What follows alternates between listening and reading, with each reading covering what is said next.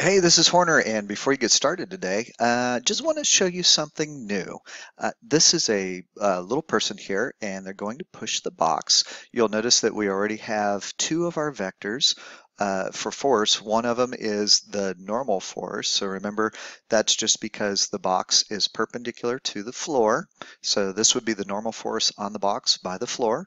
And then we have the force of gravity on the box by the earth. We're going to add a force to the right, but with this one, we're also going to tell you that there is friction. So you'll see that we've chosen wood as our floor instead of ice. If we did ice, there wouldn't be any friction at all. Um, and there's two types of friction that we need to talk about here.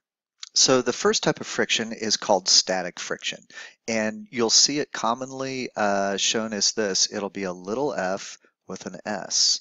Static friction is the friction that you have whenever you're trying to move something but it doesn't want to go anywhere. So the word static, S-T-A-T-I-C, basically means no motion.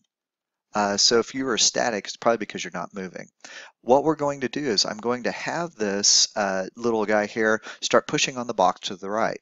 But because there is friction pushing it to the left in an equal and opposite way, he won't be able to move it or she won't be able to move it. So I'm going to apply a force. You'll see that as I increase that force, the box still doesn't move.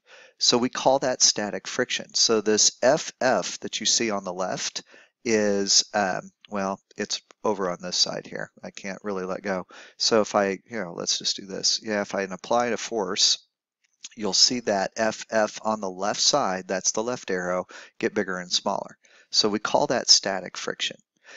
The other kind of friction is called kinetic friction, and it's abbreviated with an F and a K.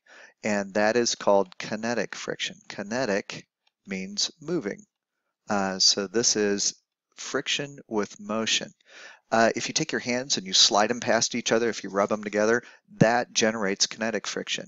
So if you try to move a couch and the couch, when you push on it, won't go anywhere, that is static friction. So let's create some kinetic friction here uh, by applying enough force that the box moves. And when it moves, you'll notice that the FA going to the right, so we'll reset this, is bigger than the F F, or the force of friction going to the left, and that's why it accelerates to the right. So right at this point, the left arrow is smaller than the right one, and we call that, oh, there's the sound, we call that kinetic friction.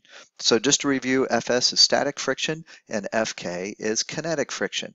Today you're going to go through and check your answers to two of the worksheets. You can use either the printed uh, keys, which are on Canvas, or you can use the videos. So if you go through something on the printed key and it doesn't make sense, go to the video, go ahead and scroll over to the part that doesn't make sense, and I will explain it. Uh, the other thing that you're going to start today, which is due Monday night at 11.59 p.m., is a Mastering Physics assignment.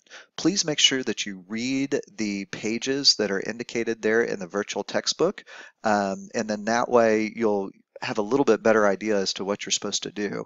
Uh, you can also use the books in the classroom, but please do not take them out of the classroom. Just leave them on the bookshelf. Have an amazing day. Talk to you later. Bye-bye.